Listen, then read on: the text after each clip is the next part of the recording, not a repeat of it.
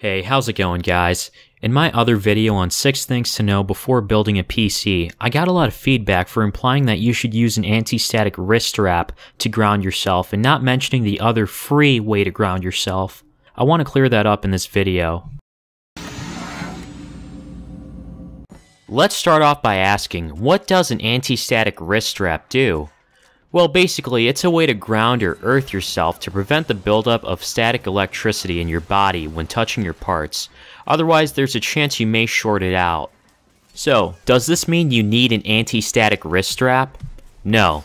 Actually, all you really need to do to ground yourself could be to touch, like, the metal part of your case. It's usually the easiest way to do this, but I hear this is more so called bonding, where you equalize the charge between you and the case. A better way would be to touch the metal part of your power supply or hook it onto your case while it's plugged into a good working wall outlet but turned off and by doing this the case is now grounded and you can just touch it then.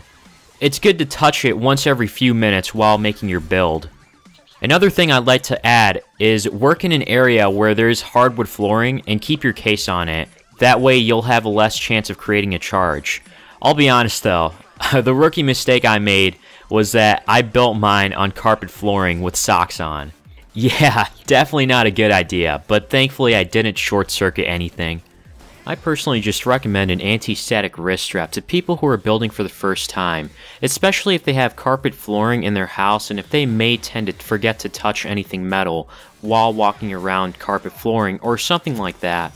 It's also pretty cheap, and I always like to say better safe than sorry, but again, you don't need an anti-static wrist strap.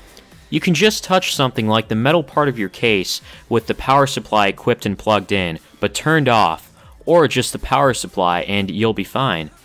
It's really just a precaution to prevent yourself from short-circuiting your components. I hope this video clears some stuff up.